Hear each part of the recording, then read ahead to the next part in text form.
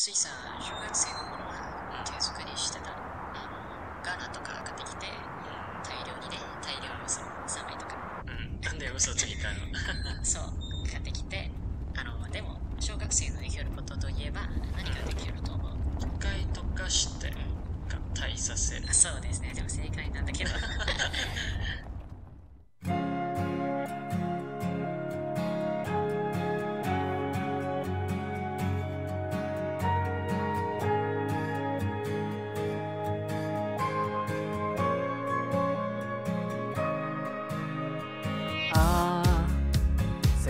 は少し経って思うようにはならなくてどうしてもあの頃のように戻らないよね。二人の秘密だって君は覚えていなくたってくだらない話を聞いていたかったのを伝えたい思いだけが募ってしまうな。近すぎたのかな。さよならなんてさ。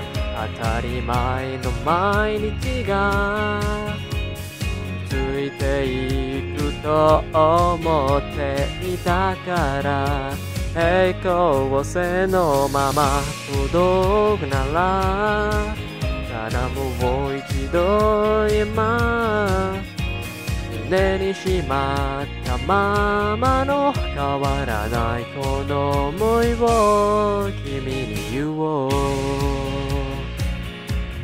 ああ。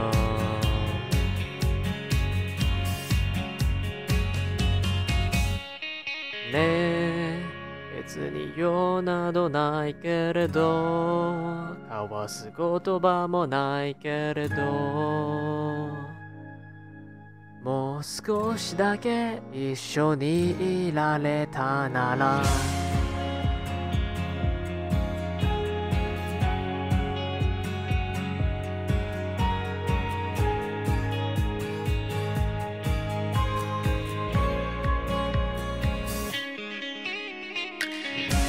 この距離は縮まらない。まま交わらないようにできていた答えなんてない。遅くなんてないから。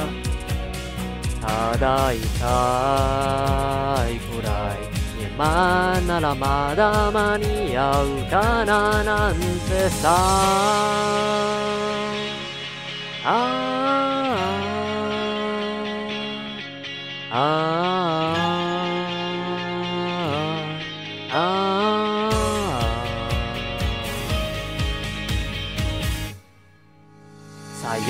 らなんてさ当たり前の毎日が続いていくと思っていたから平行線のまま届くならただもう一度今のまでの世界じゃなくなっても心は覚えている。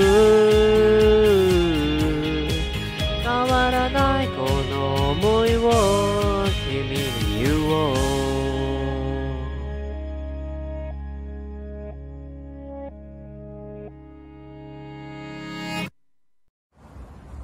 マモチョコは水産あげるんじゃん。水産今でも去年とかイブさんにもちょこちょこあげたよいただきました。いただきました。なんかあのお返しもらったっけいや、お返したよ。